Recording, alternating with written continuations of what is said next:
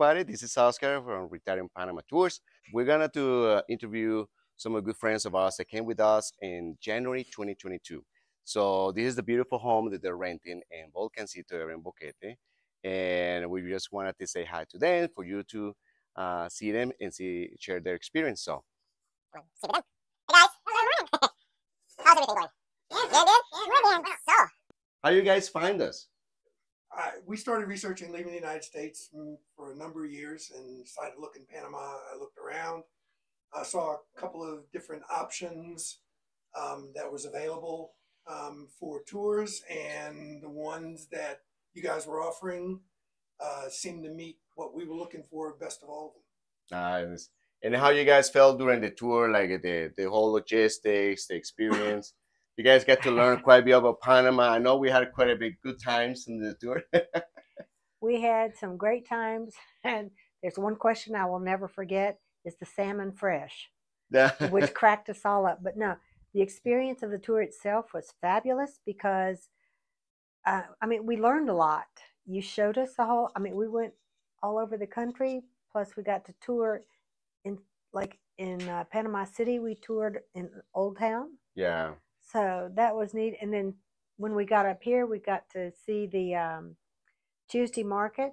But in between, we got to talk with other expats, the lawyers, the real estate people, doctors, insurance. I mean, just everybody. Yeah. And you guys, would you guys move here fully last year, huh? August last year. Mhm. August last over year. One year now. Yeah.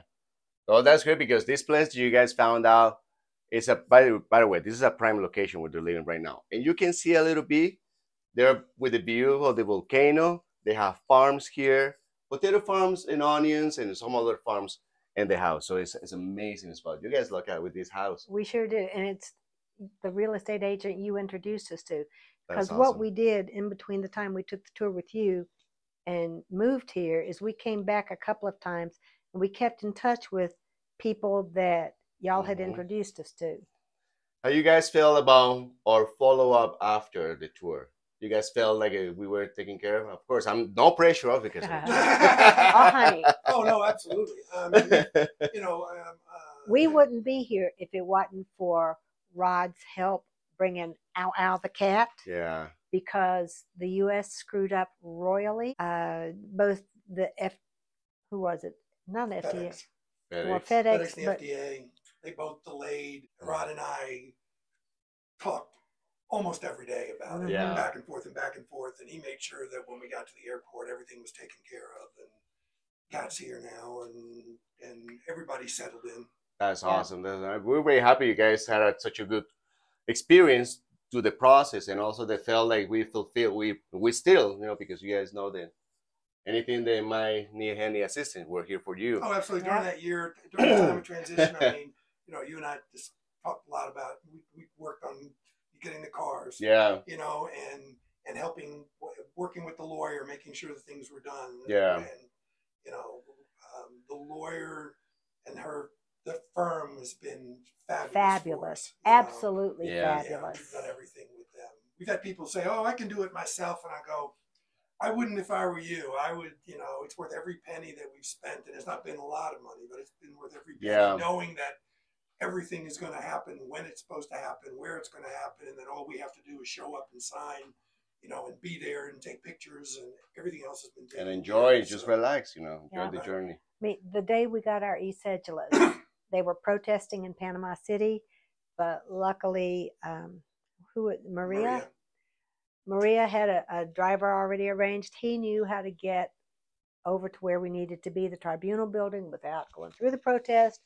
And then when we got there, we we were pretty current on our Spanish at that time, uh, but not.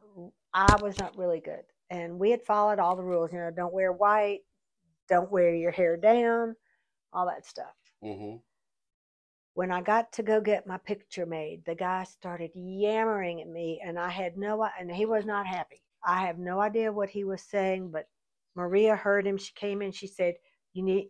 I have three holes, Oh, and even though I was wearing studs, you're not supposed to wear but one pair. oh, I see. So she said, "You got to take your earrings out," and so I just took them all out. They were- And- they were really good with Yeah, sometimes it can be a little specific. But that's why I'm glad we used a lawyer, Yeah. is because without Maria there, I Yeah. had no clue what this guy was saying. Yeah, just like, huh? Oh, the hummingbird. Uh huh. That's hummingbird feeder right there. So we have a lot of hummingbirds. Uh, and then right now, where's your life like in, in Boquete? you know, we stay busy with stuff. I mean, I there's there's an active sporting group here. Um, there's pickleball. They're building a paddle, two paddle centers. I know, two There's paddle Two centers. paddles. There's you know people bike ride. There's hiking. Mhm. There's, there's we, we hike every week in the in the park. At the, No, we don't hike, we walk. We walk in the park. you know, um, which is a great park and it's a great hmm thing. I mean, it just opened right before we moved, and Yeah. we take it, and everybody should take advantage of that park. I know. Um, This, this uh, be a beautiful asset. It has been in a nice collaboration between some experts that have been here for over 20 years. Yeah, and then there's we, we take advantage of volunteer op, you know um, opportunities. We both, we both volunteer with Buenas Vecinas de Boquete, uh, volunteer with uh, Boquete Health and Hospice. Um, who else? BCP. BCP with the with the theater group now. So there's plenty of things to do, and Mhm. if you want to, or Yeah. I guess Yeah. there are people that just want to get out and sit on the porch like this and do nothing all day, and that's okay too. It's, Well- it's not a, it, it, there are worse places to do it than Boquete. Let me tell you, if I was living in this place, I will do that every day. Just sit here outside, just watching, and then Uh-huh. watch the rain or watch the mountain, watch the Yep, clouds, yep. because this place is just peaceful. Oh, during the Yeah. dry season, you know, last last you know fall and winter, um, we we had breakfast out here almost every night, di- dinner out here every night. It gets a little wet, you know. Yeah, it you know, does. and even with the and then when it got too windy, then we'd go inside. But for the most part, no, we spend most of our time out here on the Mhm. porch. Yeah. um, because it, it's And when I'm teaching, I'm upstairs and my there's a window and I face the farm that's at the other side of the house and it's just fabulous to watch what's going on there and, Yeah. and to watch the crops change and to um, watch how the farmer rotates and things. So it's just really neat. And that's something else because we have good internet connection and I'm assuming it's good in all of Boquete. Uh huh. Uh, so I still teach between three and six classes every term back in the U.S. That's great. That's beautiful. This is like a such a sweet deal in this location because you feel like a have the farm experience, but without doing the farming. Exactly. No, Yeah. we, So the peaceful, the green, the lushness, seeing the Mhm. crops, seeing everything, but you don't have to get dirty. You say, "Hey neighbor, can you give me some potatoes?" Uh, actually, One, uh, Yeah. our landlord's brother, has offered us part of his produce, Yeah, and he's brought over. yeah, Oh, and that's that's been so really sweet. nice. Things out. That's Yeah. so sweet. We um, It is. Yeah, as far you, you talk about feeling safe, we've we've not had an issue here. Um, you know, um, it it is a neighborhood. It's you know, it's a mixture. This street is road is a mixture of you know both uh, Panameños and and expats. Um, and I don't want to say everybody looks out for each other, but it just seems to be everybody's you know Yeah. minds their business and and keeps out keeps Yeah. out. So Mhm. we haven't had that issue.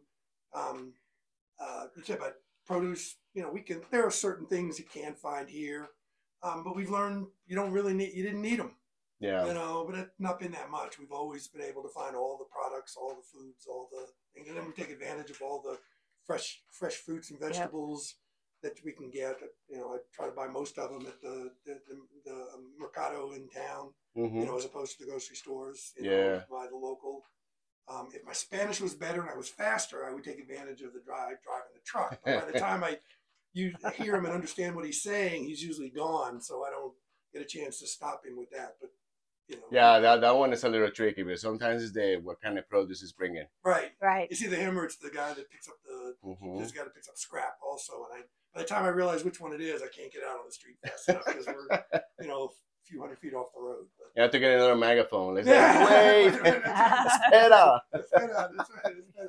Well, you guys, uh, what is the what message will you give to someone that are watching this video? They're probably making a judgment based on this video. What you guys will say something to those that oh, should I do the tour? Should I do the tour? Should I go with these guys? Definitely, a tour is helpful. I Mhm.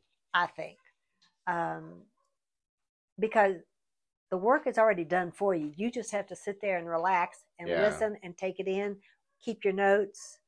Uh, that's something I did was wrote notes on the tour, and so when we went back home and we couldn't remember, you know, there they were. Yeah. Even if we didn't have it written down, Yeah. we were contacting you guys. I mean, Right. you probably got tired of hearing from us, but you know, it, we never felt like we were imposing.